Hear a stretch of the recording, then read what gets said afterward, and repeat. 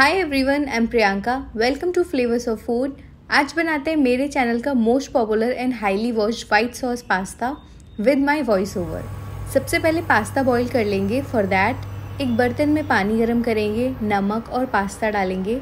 Boil कर लेंगे pasta के सॉफ्ट हो जाने तक और उसको स्ट्रेन करके साइड रख लेंगे.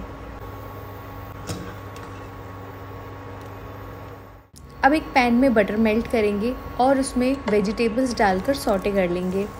मैंने लिए ब्रोकली गाजर अनियंस एंड कैप्सिकम सब्ज़ियाँ सॉटे करके इनको भी साइड रख लेंगे और अब वाइट सॉस बना लेते हैं। एक कढ़ाई में बटर मेल्ट करेंगे, उसमें मैदा डालेंगे और उसको धीमी आँच पर रोस्ट कर लेंगे ब्राउनिश हो जाने तक। मैदे को अच्छे से रोस्ट करना अदरवाइज़ कच्चा फ्लेवर आएगा।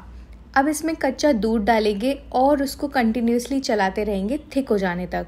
मेक श्योर sure करना कि इसमें कोई लम्ब्स ना पड़े। उसके लिए वायर विस्क का यूज़ भी कर सकते हो। Cheese slice oregano black pepper chilli flakes और नमक डालकर मिक्स कर देंगे सॉस को। अगर आपको सॉस थिक लगे तो थोड़ा पानी ऐड कर देना।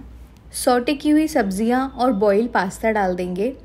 मिक्स कर देंगे सब कुछ और हमारा वाइट सॉस पास्ता तैयार है। सर्व करेंगे for snack time for lunch और however you like enjoy see you all in my next video do like share comment and subscribe bye